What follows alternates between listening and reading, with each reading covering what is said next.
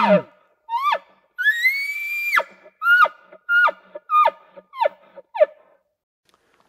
welcome to this typical muley production video.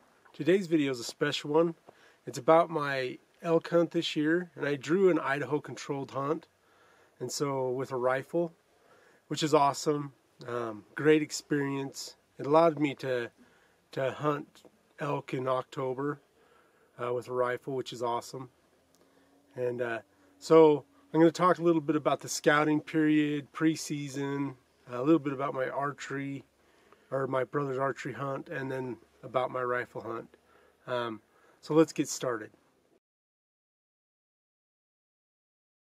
So these are some of the trail camera pictures I got during the summer scouting period and also the fall hunting period um, of, of bulls and other elk. Uh, enjoy.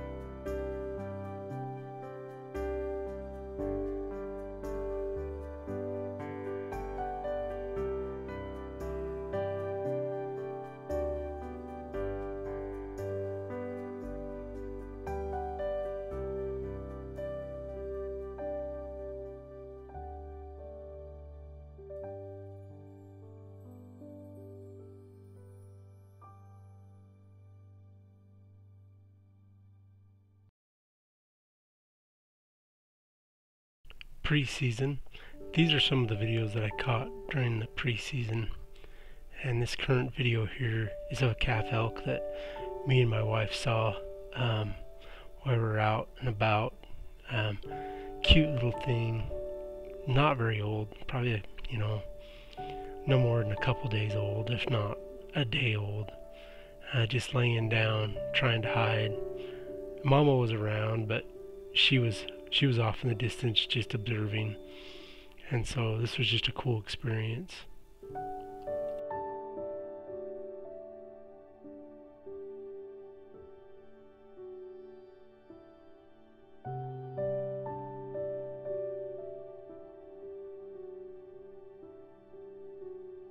This is a couple of bulls during June, you know, early growth period.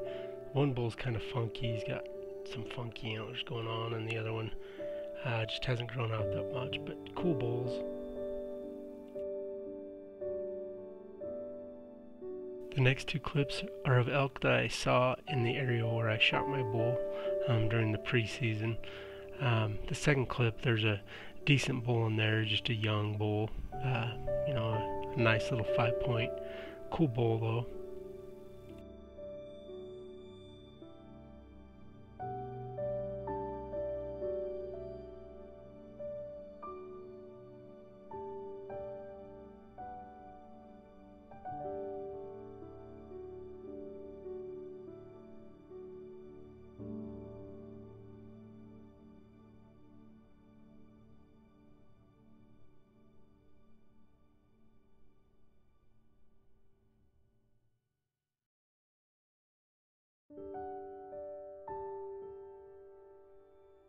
This clip is of elk that I scouted out in the back country. I decided to go in the back country, see what I could find back there.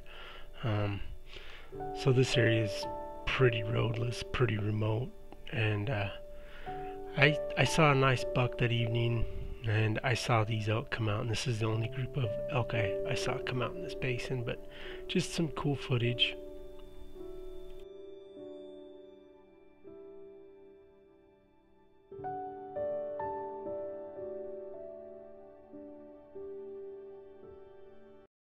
Archery season. This is a calf elk on opening day, walking five yards from my brother. Cool experience. We had cow elk calling all around us. We saw five or six other cows as well. Just awesome experience.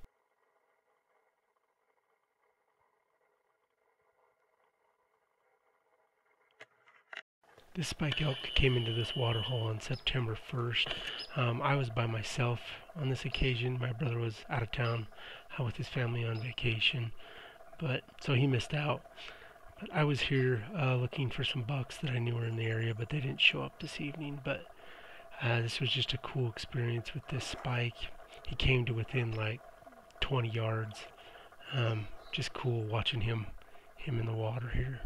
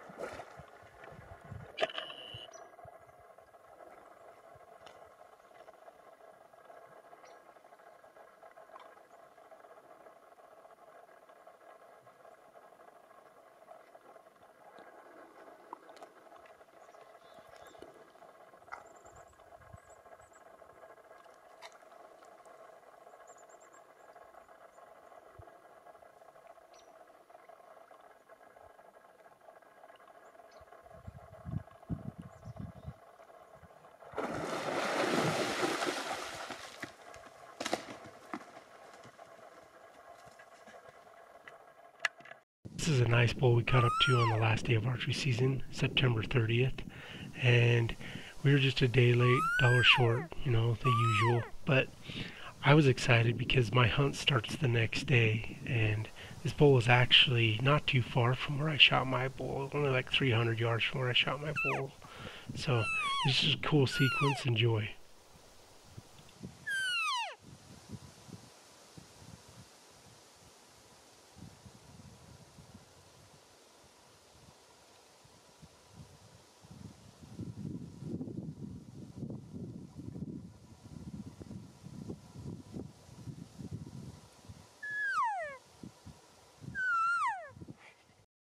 The rifle hunt.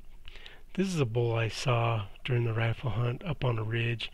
He was a little too far out of range. Um, that's why the footage is a little grainy, but nice bull, uh, pretty big five point.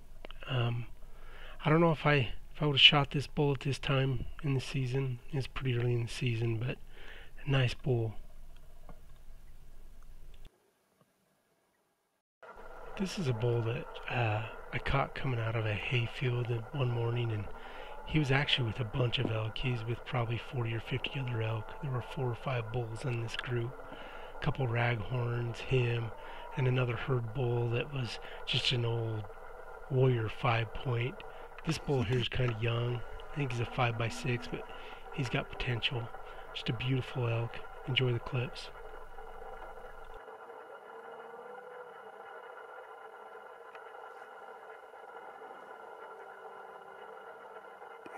Nice.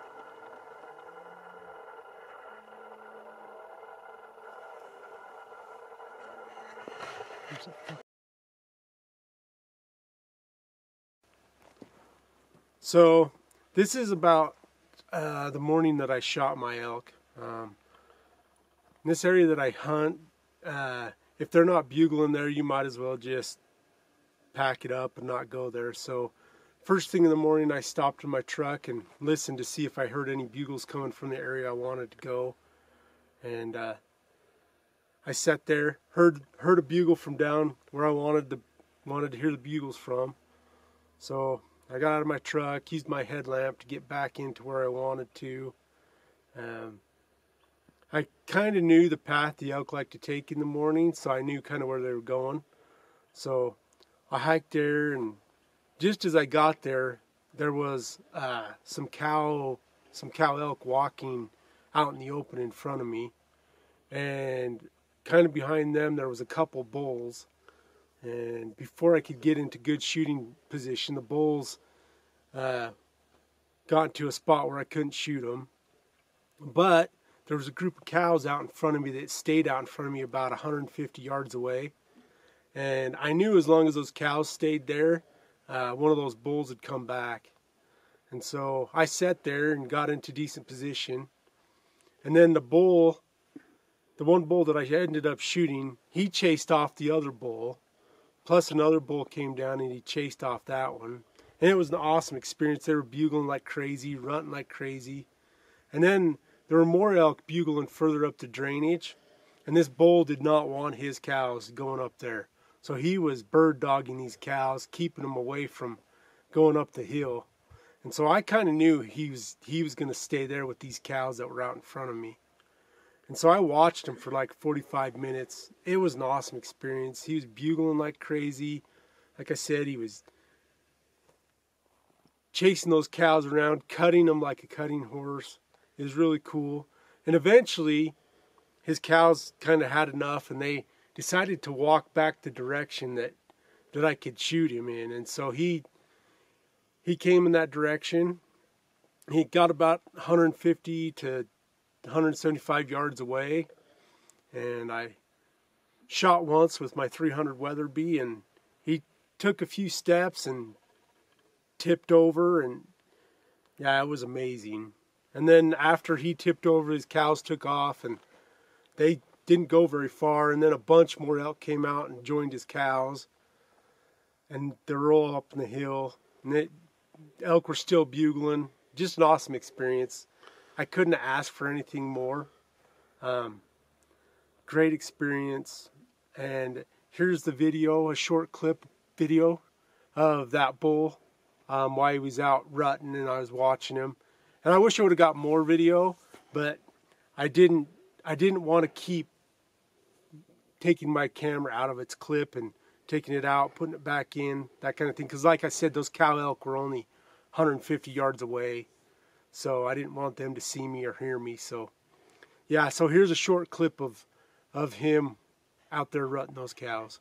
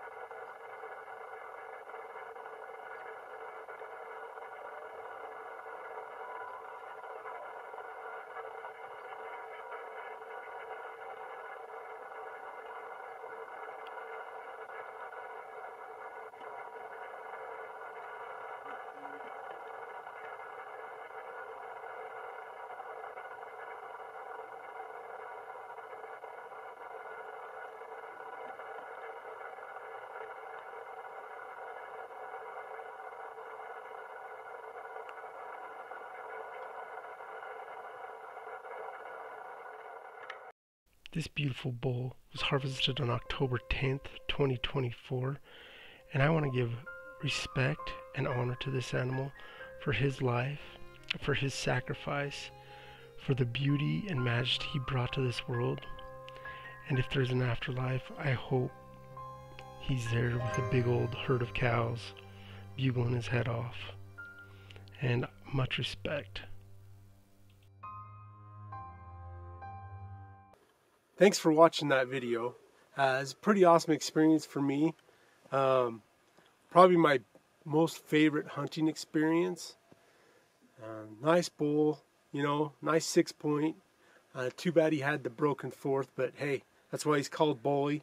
He liked to fight, chasing off other bulls, um, keeping his harem. And uh, I'd like to give a special thanks to all those people who helped me out after I got this bull down um, to my brother and uh, to his brother-in-law and to my coworker. I'd like to thank him for helping me out.